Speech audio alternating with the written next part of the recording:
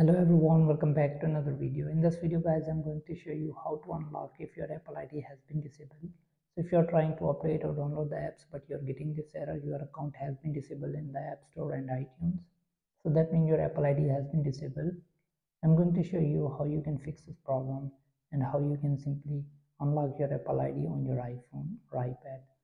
So let's get start the video. Before we start the video hit the like button and subscribe to the channel for more upcoming videos so the first step is make sure that you have a vpn in your iphone. So if you don't have the vpn in your iphone you can log in your apple id on the pc or another device where you have the vpn if you're living in us or uk you don't need the vpn but if you're living in the outside of the us or uk then simply open the vpn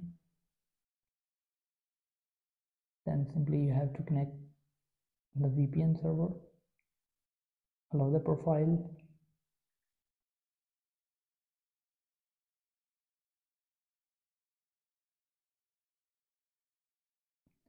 so once you are connected with the vpn server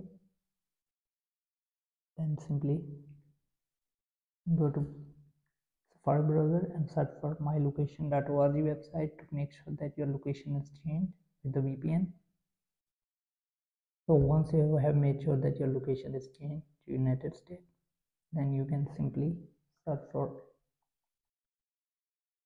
Apple Support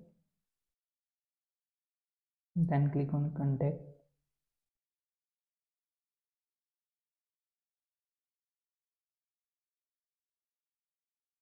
Then scroll down.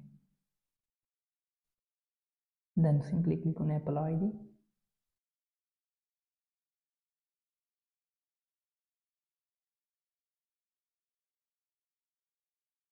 then click on disable apple id then select your account has been disabled in the app store iTunes alert. Then click on continue. Then simply click on start chat then enter your first name and last name and email.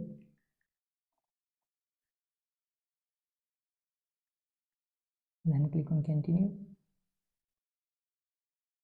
then in a few minutes you will be connected to apple advisor. Then what you have to do is you have to let them know that your apple id has been disabled in the app store or itunes.